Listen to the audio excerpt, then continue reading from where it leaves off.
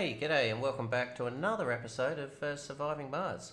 Uh, thank you once again to Paradox Interactive for this uh, uh, press release uh, key um, prior to the to the launch in a couple of days now. So super excited. Okay, so in the last episode, we literally sort of set up the start of the game, and we just finished with landing our first uh, spacecraft on Mars. So in this game or in this session, um, we're going to start setting up our early base in preparation for our first dome. So starting to get our sustainable colony with uh, water, fuel, um, power, oxygen in preparation for dropping the dome. So sit back, grab a drink, relax, and uh, let's get into it. Don't forget to hit the likes and hit the subscribe if you'd like to see more of uh, Surviving Mars or other episodes I do. The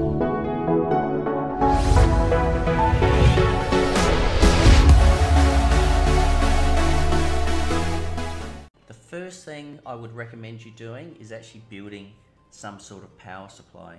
Um, and then also getting the power to start creating concrete. So with power, um, the first one is actually going to be your large solar panels because the large solar panels only use metal and the metal you're obviously getting off the surface of, of Mars itself.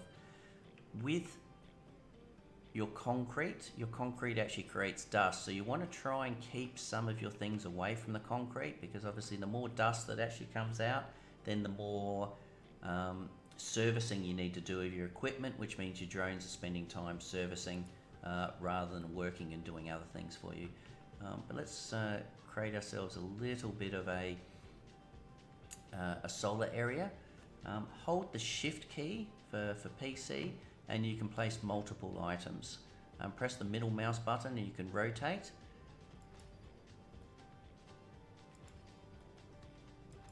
And there we go, there's a little um, uh, solar farm. Pressing B again, you can get your power cables and that will actually run the power supply uh, from your first lot of now if you want to up the priority so these guys are actually sort of just building at the moment uh, if you want to up the priority um, to do that what you need to do is click on the item itself and then on the left hand side you've got a priority change um, by clicking one of these but leaving the others to two, you'll find that they will prioritize to start building that one. Let's speed it up. So the things that we want to build to start off with is we want to build a drone hub. Now the drone hub, we grabbed one in the prefab.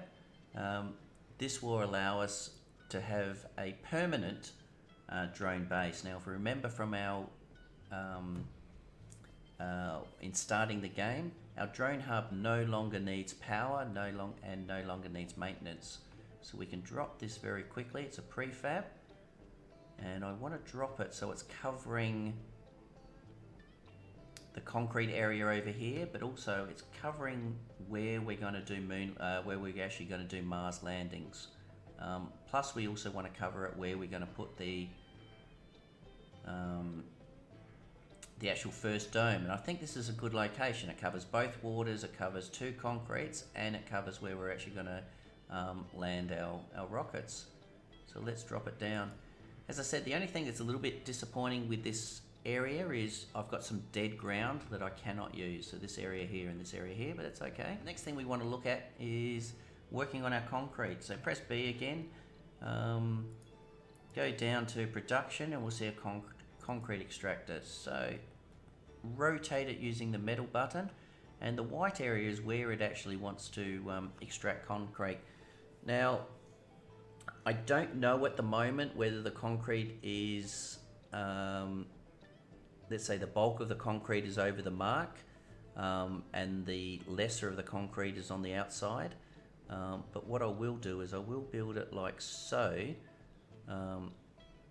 So it's just the white area or where it's going to extract the concrete is over the centre most of the, uh, uh, the yellow concrete area. So click that. They will start building it, but it will not get power until we actually run, run power to these areas. Um, so they will slowly start collecting that one. We want to run our power like so. It would be nice to get rid of that, uh, that last one, which they will very quickly. With your rovers, they do need to be charged. You can see this one is down to green, but you can see this one is actually starting to run purple. So by placing them on top, they'll actually recharge. Um, so it's a neat little way to actually recharge your, your rovers. We're going to build a just a little bit more. And the next thing we want to do is start storing our power. So through your power accumulator to start off with, and it takes three concrete and two poly. So Sector the, scanned. the reason I didn't build it to start off with is I didn't have the concrete. The concrete comes through um, obviously making your, your concrete extractor. Um, but once this is completed, it will actually start running concrete. The concrete will be stored in the depot. So the next thing that we're going to start doing is is start collecting water. We've got power, although it's an early stage of power. The next thing we're going to do is actually start our um, our water. So we'll start with this one here. Um, with the water extractors, we've got two choices. We can actually drop the extractor on there, which we Anomaly analyzed. uh, which we have. So this one here, so this anomaly actually gave us a new tech. So let's just slow it down a fraction. Let's have a look at that. And it's now opened up two more techs. So in this case here, decommissioning, so it allows you to salvage and destroy buildings, uh, which is nice. So what happens is when you shut down a building now, it just leaves the building intact, getting a bit old and, and orange and grey. Next thing we've got is more applicants will start on, on Earth. So they're two nice ones. Um, let's go back to the water. So to start the water, we've got a couple of options. We've got the extractor or the vaporizer that we brought from Earth. So this is a prefabricated building that will allow us to extract water um, without actually finding water on Mars. Now in this case here, we have found water, um, so I don't need to use that for this dome. You may find there's another dome that doesn't have the luxury of water, and um, that's where we may use it. But in this case here, we're just going to use the extractor, um, and we're going to drop the extractor uh, on top. Remembering we want to put the um, the dome in this area here, so this thing's going to be very close to the um, so. But we're going to drop this here.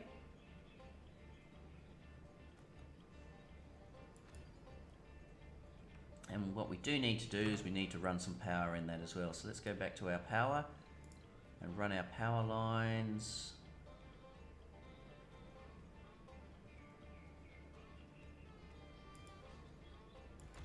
Like so. Um, but producing water, there's a couple of things that will produce water. Obviously, the dome and food and that um, require the uh, the water. Um, so water is the is sort of the rare resource or the life support. But then it will actually produce things such as your oxygen um, and fuel that you'll need with your, your water itself. So with water, you've got your pipes. The pipes, a single pipe carries both oxygen and water, um, as it says in the top right-hand corner, um, and connected to the building. So we're actually going to run them on the same lines. And I've found this to actually be handy um, when you've been building uh, other components. So in this case here, we're going to bring that down to about here.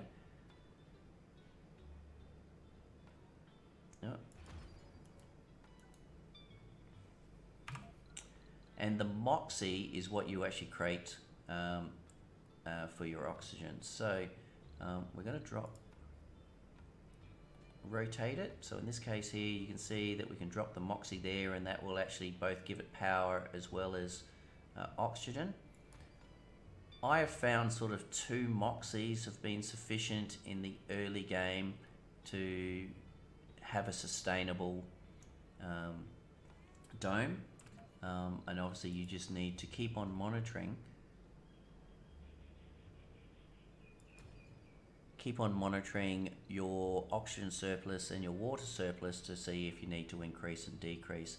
So the same thing is you need to uh, make sure you put storage, and the storage is actually done through your oxygen tanks, um, which once again have metal as well. So this is if by clicking on it you can see what it needs oh, before you deploy it you can see what it needs for maintenance and that's the important ones as well. Things that require maintenance in regards to metal your metal you're getting from the planet. Things that require maintenance um, such as here such as mechanical or sorry machine parts. Um, until you're generating machine parts um, you you would need to bring those machine parts from earth. So definitely look at the right hand corner um, to make sure you have enough polymers, enough electronics, and enough machine parts um, to continue to look after your uh, your requirements. this case here, your solar panels also just require metals, and that was the reason I started on on solar power. As we're building more things, we're going to start chewing through more uh, more power. Um, we've got our um, batteries at the moment. We can see our power surplus. It's not. We're producing 20 demands. We're storing power 33. So you're going to see these slowly increase. Um, but we're going to just build a few more little solar panels now, um, just to make sure that we've got plenty of power stored.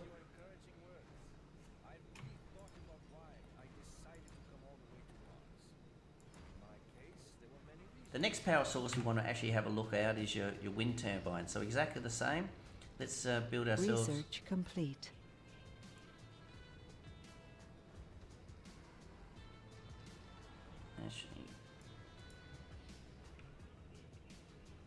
Not liking that one. Just um,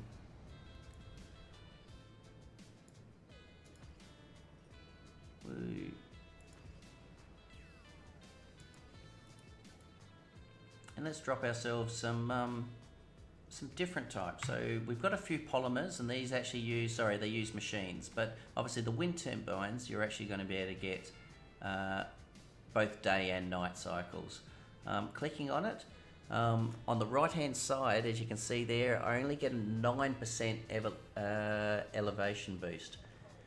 If I was to scroll around and let's say go up on top of this hill, um, you can see I can get a 44% elevation boost um, or here 52 um, when I'm building domes up on this top half. So uh, it does make a big difference. Um, Sector so, scan. So just keep that in uh, mind uh, when you're actually using your, uh, your turbines. Uh, so in this case here, um, we're just going to place a couple here.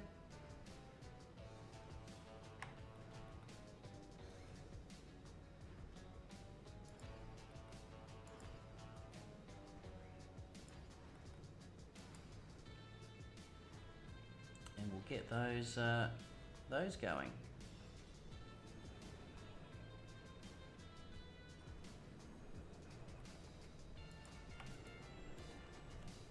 A nice little power farm. Now I noticed we uh, had a sector scan, so you need to also just remember, so I've got two backed up there or in queue. You just want to make sure that you keep on putting those through so they keep on uh, scanning the sectors that are around you.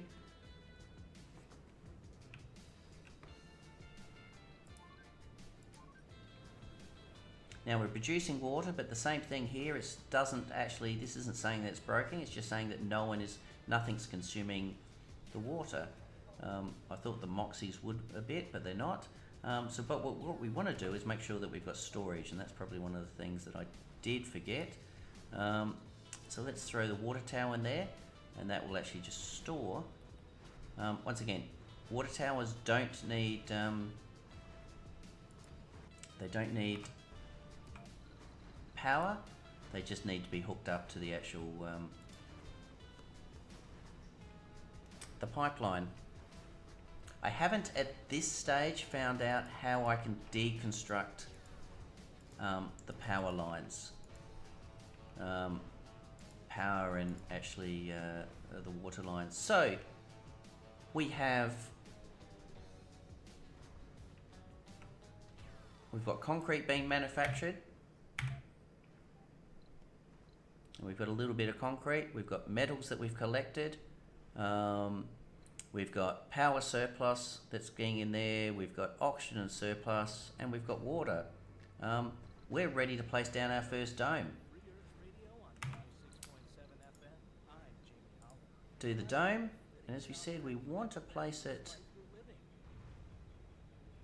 here, or certainly in this area, where we can try and get both of these metals extracted. So this one was 884 and this one was 786, average and very high. So it means I want this one as the priority. I would like that one as the priority, and if I can,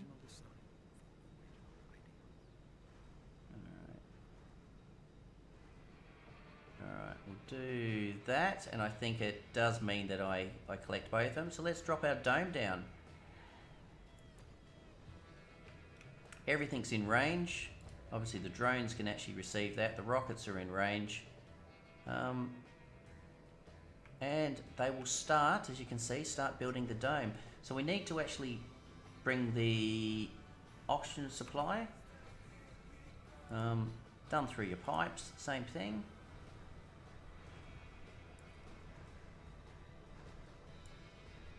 Is looking a little bit crowded here, a little bit messy, but that's all right. Next thing we want to do is actually produce our uh, power to get our power there. And we can do two things, is we can actually piggyback off of a service we've got. Um, in this case here, I'm just going to run the power. The power actually goes to a different slot. Um, uh, so, um, so the power, we've got power and oxygen now going into the actual dome itself when it's actually built. One thing that I have forgotten is every time you build something, there is a byproduct, and the byproduct is waste rocks. So what you do need to do in your storage in your depots, um, you've actually got a dumping site. So by pressing shift here, I'm actually going to be able to create um, just a collection of rock dumping sites. So you can just build a, a bit Bit of an eyesore, I know, um, but it just means now that I've got an area where all the waste rocks, both from here, as they levelling the ground here, and around here you can see you've got the, uh, the waste rocks. Let's get ourselves our next rocket. So the next rocket we're actually going to bring in things such as, uh, uh, as we've said before, we're going to start bringing in fuel, um, because we cannot send this rocket home at the moment. The next thing we're also going to bring is a transport ship. I tend Research complete. I tend to bring in two supply rockets. Then after the second supply rocket, I, I'm ready or almost ready um, to uh, bring in my first lot of uh, founders. So let's grab the rocket. Another cargo rocket for the prefabs, as we said. Um, we want fuel this time round. Um, I'm happy not to have any of the factories. Um, if I've got room, I definitely will. Um, may do a polymer actually, water and fuel. Let's do a polymer. Um, we want transport. We didn't get a transport last time. Sorry, prefab. Another drone hub. Um, now we want to then fill it up. So we want to bring maybe a few more drones. I find having drones super handy.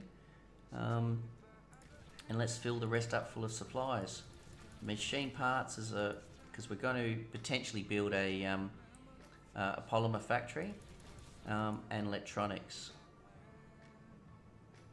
Okay, happy with that. I do find machine parts are probably the ones that you use at the beginning most of your outside requires machine parts, uh, remembering obviously our wind turbines require machine parts as well. Uh, drones, RC transport, the transport will allow you to transport uh, supplies, for instance, that remote depot that I put uh, north of my, or in the top half of my map, um, I can now get that.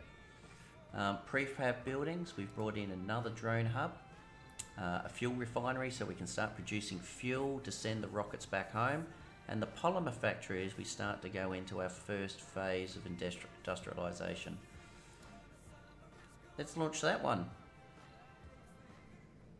Alright, welcome back to Surviving Mars, and we've got the Pegasus 1 is now in orbit. So um, you can leave them in orbit as long as you want. You don't need to bring them down. So let's say you're having a, uh, a meteorite strike or something like that, you can leave them there. However, when you start getting um, passengers coming, you have a limited time to leave them in orbit. I think it's oh, it's 100 and something days, 120 days, 116 days, um, or hours, I should say, Sector not days. 116 hours um, before you need to bring them down, or they'll die in uh, orbit. So let's uh, grab the uh, the Pegasus one, um, and let's uh, land them over here. Um, just uh, a little bit out of the way of this rocket, but more importantly, all within inside. Um, we've just scanned another sector, and what we've got is we've got a first rare resource. So in this case here, it's average 545. Not a bad one. I would mine it. It needs to be done by humans. Um, so which means you need to have a dome within the range uh, for it to uh, actually extract. Here comes the Pegasus 1. Look at all that dust. So as you can see, you land them, they're going to sort of flick the dust up. They do have a decent range on them themselves, um, but what you want to make sure it's within the, the robot range, uh, so the robots can actually uh, they can actually pick up uh, those supplies. So here we go. Now uh, robots itself, in this case here, once they stop being used by the ship, as I said, they will reassign. We've got down the bottom 22 um, uh, drones, uh, droids, or what do we want to say? Robots, drones. Um, and they will be spaced out between the drone hub that can take up to a maximum of 20 um, and also the other unit, um, which was the RC Explorer. Um, not the RC Explorer, the RC Rover, which can take a ma- maximum of eight uh, drones. We also got ourselves a new uh, component, which is the RC, uh, the remote control transport, and you can rename all these. And where I use this is, as I said, we had this out here collecting the metals, and they've collected the metals and they've thrown it all in the depot. So this can actually head home. Milestone achieved. Uh, there we go, milestones. You can check your milestones obviously by down here, and we just haven't launched a, um, a rocket back. So with the transport, you can now go collect um, collect those sup- supplies. So by doing this, it will create a transport route. Click on it, tell it that you want to collect metals, and then tell you where you want to drop off these metals. Now in this case here, we want to unload the resources here. It's getting quite full, so we're actually going to build, which you are going to chew through metals, we're just going to build a second one, not a problem. And that means that it will drop in that vicinity. Alright, we've got all these, but we also bought a couple of prefabs. So one of the things we want to look at um, is our power. Power's doing okay, it's positive, but remembering it is daytime and we've got our solar panels up, so you need to keep the idea. But looking at your stored power, you can see that it's actually uh, storing that. Oxygen is fine. Uh, production in one. Water production is one, but the demand is one. So we are hurting a little bit on, on water.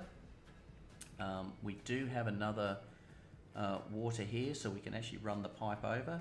Looking a little bit crowded, but we can space it out. Um, the second one is we also have a prefab um, vap- vaporizer, and I don't want to do that just yet, um, but we will keep that um, uh, in mind for a little bit later. Um, what I do want to do um, is start working on fuel. So, fuel Uh, what do we got for fuel? Fuel, I think, is a prefab. No. Ah, there's your fuel refining. It is a prefab, um, and it takes water. So as soon as we actually build this fuel, we're actually going to start running out of um, um, water because we need the water. I think it's actually consuming the water is actually here at the moment. So it's consuming 15 power, one oxygen, and one water today. Uh, so we are going to have to focus a little bit on, on the water. The next thing that we actually have, um, just rotating the map itself, you can see these also charge the drones, and the drones actually flashing yellow means that their power is running short. Um, so there's a neat little uh, in your build menu.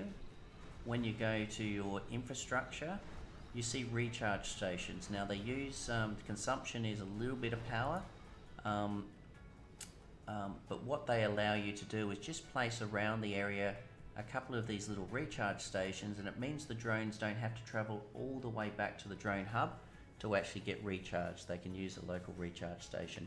But you know what? Um, that has probably been um, enough for the episode one.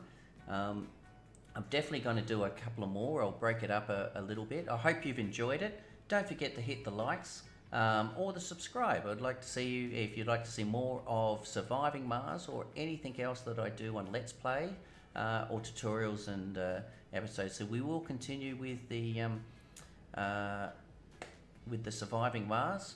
Um, we will bring down the fuel. We will then do uh, bringing the first lot of uh, humanoids or founding the founders uh, to the planet. Um, and uh, we'll continue our journey on surviving Mars. So thank you very much. Uh, thank you again to Paradox in- Interactive for the uh, for the the key in this pre-release. So have fun, enjoy, and good luck in surviving Mars.